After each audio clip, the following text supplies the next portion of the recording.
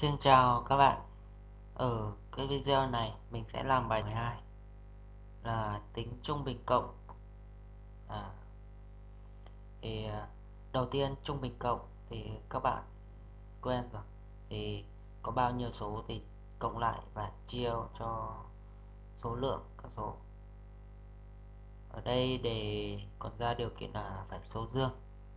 Số dương trong bảng một chiều các số. thực bây giờ ta sẽ viết code đầu tiên thì khai báo với bạn cho nó ra đã khai báo uh, a bảo oh. mình cho nó cả âm cả dương đi vì số thực mà.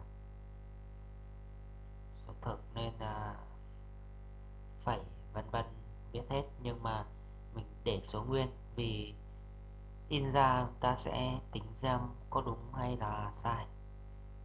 Tiên 2 trừ 3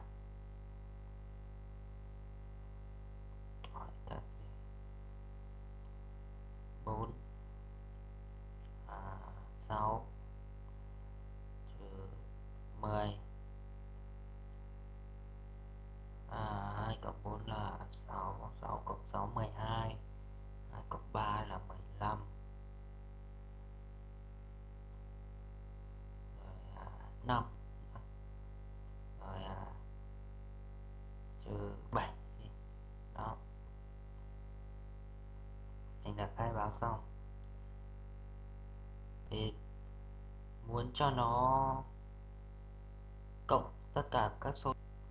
Thì và trừ số âm ra thì ta sẽ dùng một biến chạy y để chạy từ đầu bảng đến cuối bảng để nó kiểm tra.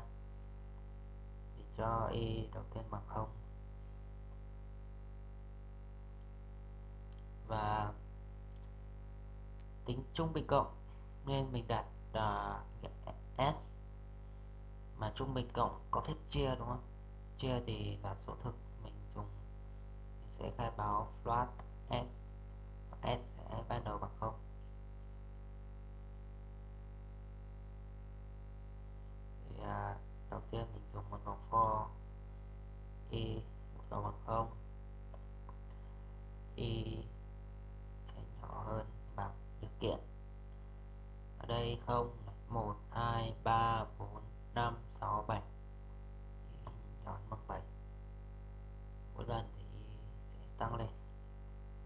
trong này thì sẽ làm gì? Thì đầu tiên mình sẽ loại hết những cái số âm ra. Chỗ nào mà số âm thì uh, continue có nghĩa là bỏ qua. Thì nếu như a y mà nhỏ hơn không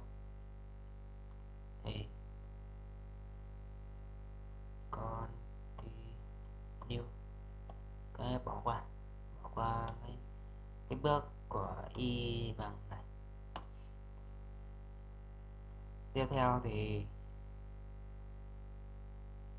nếu mà nó không âm thì chúng ta sẽ gắn s sẽ bằng s mà cộng cho a y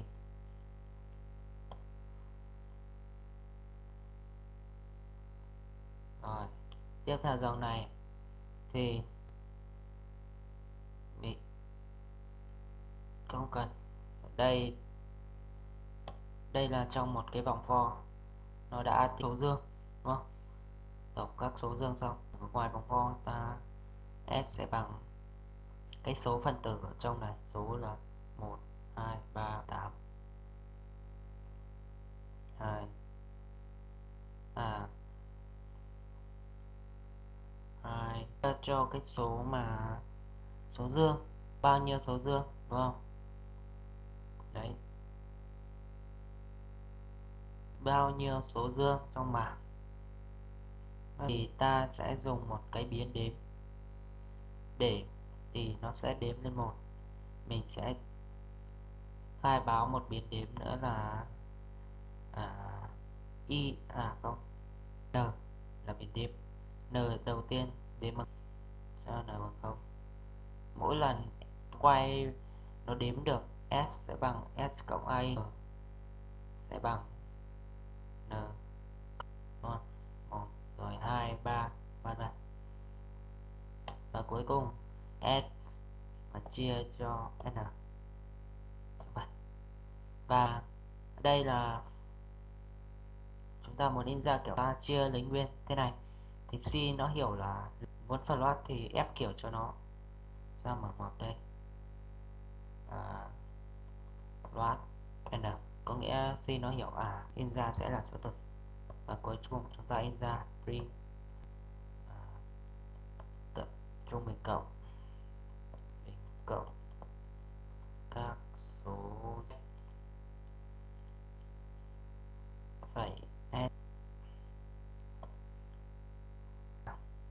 Ở đây 2 cộng 4 là 6 6 cộng 6 là 12 12 cộng 3 là 15 15 cộng 5 là 20 và có mấy số 1 2 3 4 5 số là 20 chia 5 là 4 chúng ta xem kết quả. Trung bình cộng các số dương là 4 ok.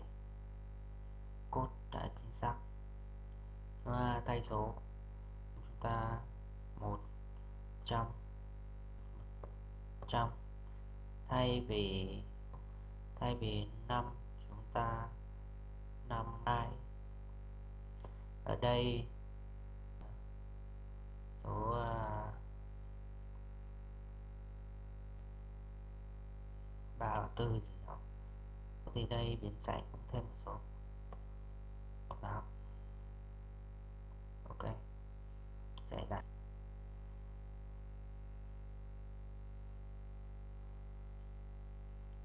Cho mình cộng là 38,33332 các bạn ở đây các bạn tự kiểm tra nhé. Đây mình không có rảnh để mà ngồi mà tính đâu. Đây có một số dương hai số dương ba số dương bốn năm sáu số dương. Này chia sáu ra mà mình nghĩ là cốt là đúng rồi. Video của mình đến là kết thúc. Cảm ơn các bạn đã theo dõi video. Các bạn